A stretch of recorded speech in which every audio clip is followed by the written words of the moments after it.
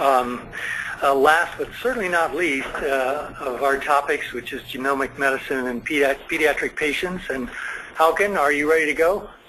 Yes, I'm, I'm good to go. Can you hear me? Yes, we can. Okay, great. So, uh, uh, so this uh, presentation is sort of uh, uh, uh, focused on obstacles, but I am going to sort of address a few of the successes as, as, as well. so if I if I have next slide. And uh, th there are really three areas that I was going to focus on uh, sort of collectively for the uh, pediatric sites uh, review of current pediatric projects and, and, and largely focused there on phenotyping and sequencing. Uh, so uh, Kyle Brothers has worked on the consent form, but there's a separate session on that, so I wasn't going to go into that in any, any detail.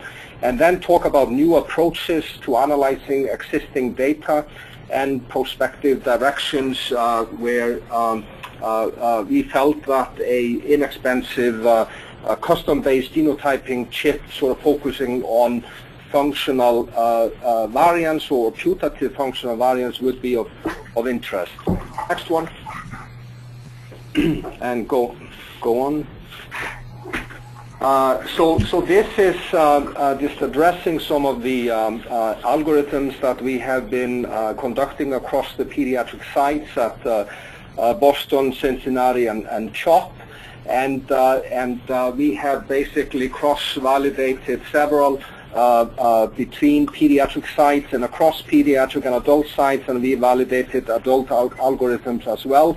I apologize for using CAG. This stands for the Center for Applied Genomics, but really should say CHOP there. Um, and uh, we still have a few that uh, are in development, but uh, both atopic dermatitis and um, and uh, ADHD have uh, have been validated sort of on, on, on our end. We have tested them on other sites and they were felt to exclude too many cases so, so we are sort of adjusting, adjusting the algorithm before we take it forward. Uh, next one. And uh, this is just a representative uh, uh, uh, example of the asthma algorithm, which uh, uh, we were quite conservative. So we, for example, here have asthma diagnosis in our EPIC database with about 15,000 cases, but we restricted it down to about 4,500. So that also impacts on the other side. But these are really carefully confirmed and documented asthma cases, and this is now under under analysis, uh, as are many of the other um, uh, phenotype algorithms that I listed earlier. Next. And uh, on the adult side, I mean, uh, we have uh, we have uh, sort of done what we can to address some of the adult phenotypes, but this is sort of one of the uh, obstacle that we that we have. I mean, we are not we don't have a lot of pediatric patients who have deep uh, uh, thrombus and or diverticulosis or zoster, I mean, for obvious reasons. so if you take a next slide, uh, uh, and for those obvious reasons, I mean, the pediatric numbers are obviously going to dwarf sort of in the context of the adult, several of the adult phenotypes. But on the other hand, many of the and multiple of the al algorithms we are taking forward in pediatrics, as I showed you, they are uh, they cross pediatric and adult uh, uh, fields, so we can we can obviously uh, address phenotypes longitudinally from pediatric and, and, and up to old ages. Next one. Uh, so, uh, so sort of as an obstacle uh, point in that setting um, is the fact that many of the um, adult algorithms, as, as, as, we said, they don't really apply well uh, in pediatrics and vice versa. When we look at developmental traits in pediatrics, language development, cognition, uh, or motor skills, I mean, there are not going to be uh, uh, big numbers from the adult uh, front uh, to address that either. but, you know, the goal here, of course, is to try to optimize um, and bridge this to the best we can. So next slide. And uh, the options that we have in that setting is to sort of, you know, proceed as we are doing on a case-by-case basis and, and not really necessarily worry about the fact that there are obviously going to be diseases that have no overlap, such as Alzheimer's disease and dementia and other things uh, in the adult front and, and, and the developmental phenotype, as I mentioned, in pediatrics. Uh, uh, uh, but then, you know, what we have, though, accomplished is the sort of cross-validation of several of the phenotypes algorithms that uh, we have come up with in pediatrics uh, and validated in adult sites and vice versa. So that's actually very nice to nice to see. next slide. And uh, uh, as a part of the uh, sequencing program, I mean, obviously some of the gene variants are, are uh, targeted there are uh, much more applicable towards the adult uh, diseases. we have now done preliminary analysis of the first about 280 or so samples that were sequenced. Uh, and we have another 140 uh, uh, going through, about half of them through. Uh, and uh, it's actually quite interesting that there's a lot of uh, novel variants absent in all databases that actually have come up from the panel. And this is in the middle of an analysis, and we can talk about that in the meeting tomorrow or, or Friday. Next one. And uh, this uh, sort of is the focus on, on um, uh, the approaches to analyze existing data, the new methods. next slide.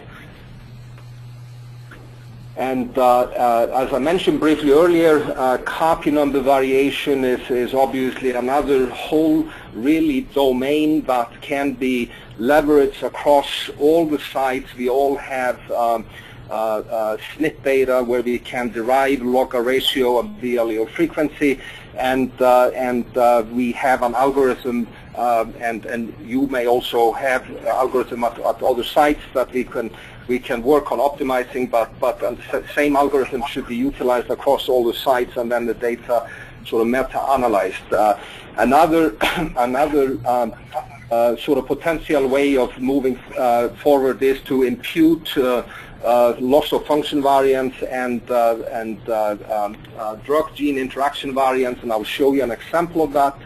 And then, of course, C, CNV analysis across sequencing data which uh, we have uh, developed and many others as well, is, is progressing nicely and sort of getting to the stage of the um, of the GWAS CNV analysis and picking up obviously much, much smaller CNVs than we could with the arrays.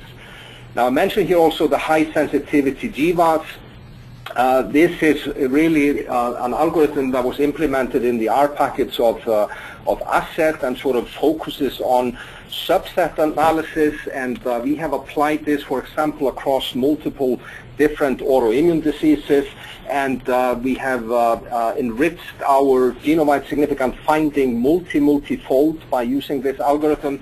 It, it really picks the uh, uh, for each SNP or for each locus the most optimal disease model, and um, and then it basically sort of um, from a common control analysis drives the most informative analysis uh, from a, from a subset uh, standpoint. It's actually quite quite power uh, powerful way of, of uh, enriching for for significance, and, and and we could definitely leverage.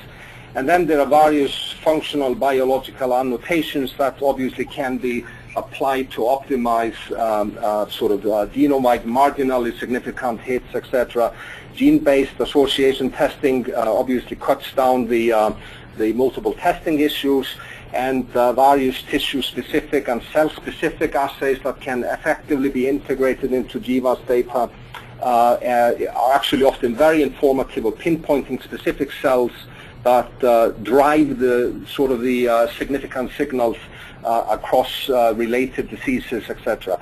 And then, you know, pathway and protein interaction analysis have been mentioned before, so, uh, and here's some of the uh, newer tools that are used. Next one. And uh, for the copy number variants, I mean, obviously, as we mentioned, these are these, this is really an untapped uh, uh, resource within eMERGE uh, across all the sites. And, um, and with the 56,000 samples that sit genotyped, I mean, this could be very, very valuable uh, uh, approach. And, uh, and, and obviously these variants are very common, even though the interest is more on the rare variant front, and that, that's really what the Illumina platform is optimized to pick up. Next one. And this is just sort of the schematic of the uh, of the different approaches depending on the uh, uh, array uh, platform or sequencing platform you have. Uh, and uh, is sort of self-explanatory. That obviously the array data where you have both the allele frequency and the intensity data, in, in my view at least, is, is better powered than any of the other methods that rely on intensity alone. Next one. So you're at 11 minutes now, so it uh, would be good to up, uh, wrap up. Okay, uh, so the uh, opportunity exists here to uh, to uh, to basically you know genome-wide this across the sites and and do do a meta-analysis. Next one. so the pathogenicity and the the, database of DGV, which is the genome variation, I mean, this is obviously not optimal, and so we could do a much better job, I think, in the in the network. Uh, next slide. Uh, by figuring out sort of, you know, the proper control and the proper way of, of doing this. Next one. Uh, and uh, this is just to sort of uh, demonstrate the example of the uh, uh, haplotype imputation for the TPMT. Next one. And shows you can just roll these slides. These are the four variants that we used in impute to 87,000 samples. Next one. Um, and uh, and this shows that you know there is actually you know ethnic uh, uh, difference in the in the prevalence of these variants.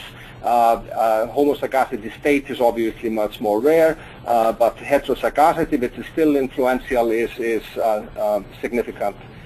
Next one and this summarizes the uh, data set uh, uh, in terms of the um, individuals we picked out. And these are rare variants, so, so and if you take the, the next slide, which shows um, the um, sort of the uh, the accuracy uh, from the uh, variants that are typed, which is 99.8% to that of the, uh, uh, the, imputation, and the Sanger sequenced actually a full plate of 90, 94 samples.